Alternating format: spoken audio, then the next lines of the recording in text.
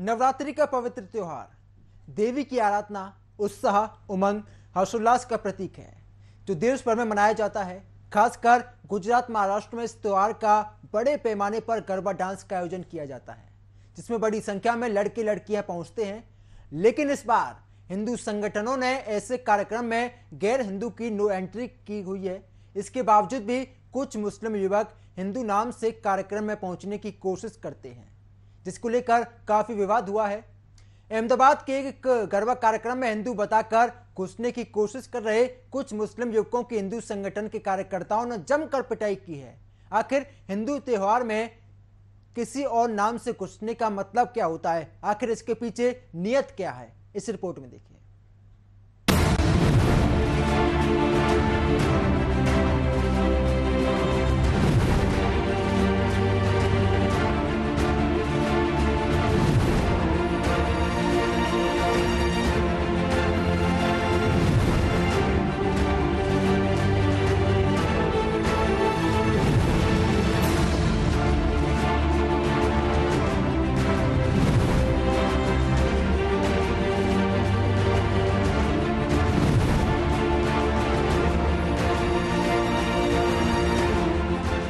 नवरात्रि के दौरान गुजरात समेत देश के अलग अलग शहरों में इन दिनों ज़ोर शोर से गरबा मनाया जा रहा है।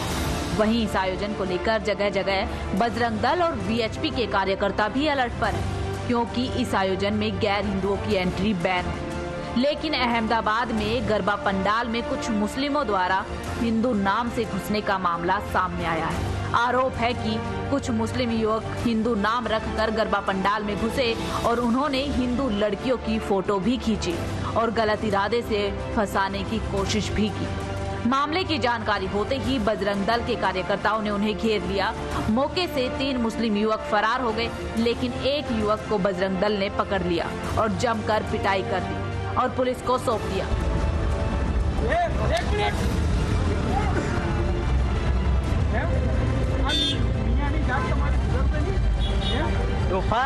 ये वीडियो सोशल मीडिया पर वायरल है, जिसके बाद इलाके में तनाव का माहौल भी है। मेरे पास राजपूत समाज से है, मैं कृष्णा माँ। मैं आपसे पूछना चाहूँगा, जिस प्रकार से गर्ल्स की बात ले जाए जैसे कि डांडिया में काफ़ी सारी लड़कियाँ भी डांडिया खेलती है, लेकिन कहीं ना कहीं ये समाज के लोग कुछ गलत काम करते हुए नज़र आते हैं तो उनके बारे में क्या कहना चाहेंगे? जो अभी ये गरबा की नाइट में जो प्रोग्राम चल रहा है जो गरबा चल रहा है तो उसमें सभी लड़कियों की सिक्योरिटीज उनको वो ज़रूरी होती है। तभी सब सब, सब, सब, सब प्रशासन को ये अच्छे से ध्यान रखना चाहिए कि कोई भी औरत कोई भी लड़की को कोई भी प्रॉब्लम ना हो और उसका प्रशासन को उसको ध्यान रखना चाहिए। लेकिन कहीं ना कहीं जो बजरंग दल के लोग थे उन्होंने जिस प्रकार से जो कार्य किया वो क्या सही प्रकार से वो ठीक- ठीक था या उनको कानून कानूनी कार्यवाही के लिए देना चाहिए? जी, बिल्कुल नहीं बिल्कुल नहीं ये बात सही, बिल्कुल नहीं, क्योंकि ये याद शक्ति की महाशक्ति की क्या होता है, उसमें सबसे ज़्यादा असर औरतें ही भाग लेती है, औरतें पार्टिसिपेट करती है, और हमेशा औरतें करती हैं तो ये बात बिल्कुल लिखी गई नहीं, कि कोई दुशासन आके ये औरतों पे कोई अत्याचार करे, कोई ये बात हो, ये बिल्कुल बिल्कुल माने नहीं जाती। ये मामला सिर्फ़ अहमदाबाद में ही नहीं देखने को मिल रहा है, बल्कि महाराष्ट्र मध्य प्रदेश में भी ऐसे ही मामले सामने आए हैं। आपको बता दें कि कई साल पहले से ही मांग उठने लगी थी कि गरबा पंडाल में पहचान देखकर ही लोगों को एंट्री दी जाए, जिसके तहत गरबा पंडाल में लोगों की एंट्री को लेकर कुछ नियम बनाए गए थे, जिनमें बिना आधार कार्ड के गरबा पंडाल में एंट्री पर मनाही थी। कई सालों से मुस्लिम युवकों को चेतावनी भी दी जा रही थी। इसके बावजूद भी अपनी पहचान छिपाकर घुसना कहीं ना कहीं उनकी नीयत में खोट को दर्शाता है। इस मामले को लेकर क्या क्या प्रतिक्रिया आई है, ये भी आपको सुनाते हैं। बजरंग दल ने सर्च ऑपरेशन हाथ किया था, जिस गरबा पंडाल में विधर्मी अपने लव जिहाद का षड्यंत्र की सोच लेके आते हैं, उसको रोकने का कार्य बजरंग दल ने किया था। कुछ दिन पहले जो घटना बनी है नवरात्रि पंडाल में से बजरंग दल के कार्यकर्ताओं ने विधर्मियों को रोका था और कुछ विधर्मियों को गरबा पंडाल में से हिंदू बहन को फंसाने के लिए आए थे, उनको बाहर निकाला था। शक्ति की आराधना के दिन होती है। माँ की पूजा के दिन है और स्वाभाविक रूप से हमारी जो संस्कृति मंत्री जी हैं वो इस बारे में स्पष्ट कह चुकी है। तो जो भी व्यक्ति आएगा तो गरबा के आयोजकों को ये देखना होगा। तो आई कार्ड उनका देखें, पहचान सबकी हो। जिससे कोई अपनी स्थिति का निर्माण ना हो।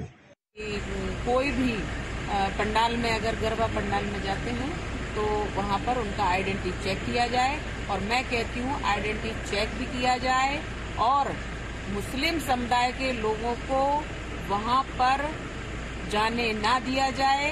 हम हमारी पूजा पद्धति को शुद्ध रखना चाहते हैं, करना चाहते हैं। और दूसरी बात, किसी भी प्रकार से मुस्लिम समुदाय के लोगों के पंडाल, उनकी वस्तुएँ, उनका वहाँ वो सब कार्य वर्जित होना चाहिए हमारे धार्मिक कार्यक्रमों में। पहचान छुपाकर कोई भी गरबा पांडालों में प्रवेश ना करे।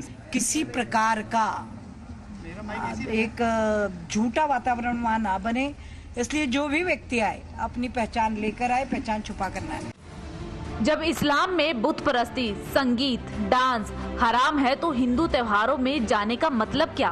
कोड में खाज ये गरबा डांस में प्रवेश भी हिंदू नाम बताकर। अगर झूठ बोलकर कहीं जा रहे हैं, इसका मतलब साफ़ है कि नियत में खोट है। मुस्लिम बहुल एरिया में रामनवमी या दुर्गा विसर्जन का जुलूस निकालने पर कितनी बार अटैक हो चुके हैं? तो जब जुलूस बर्दाश्त नहीं तो हिंदू त्योहारों में जाने की छटपटाहट क्यों? सवाल उठता है कि जो मुस्लिम संगठन सलमान खान, शाहरुख खान के गणेश पूजा करने पर ऐतराज जताते हैं। मुस्लिमों के मंदिरों में पूजा करने, गणपति बप्पा की जय बोलने पर उनके खिलाफ फतवा निकाल देते हैं। वो मुस्लिम संगठन आखिर गरबा पंडाल में मुस्लिम युवकों के घुसने पर चुप्पी क्यों साध कर बैठे? अगर वे इसे भाईचारा की मिसाल बताते हैं तो हिंदू मंदिर में कुरान की किताब रखने पर दंगे फसाद क्यों हो जाते हैं? क्यों गैर मुस्लिमों की हत्याएँ तक की जाती है? क्यों अपने को मुस्लिम बहुअल एरिया बताकर रामनवमी के जुलूस पर पथराव किया जाता है? न्यूज़ वॉच इंडिया के लिए ब्यूरो रिपोर्ट।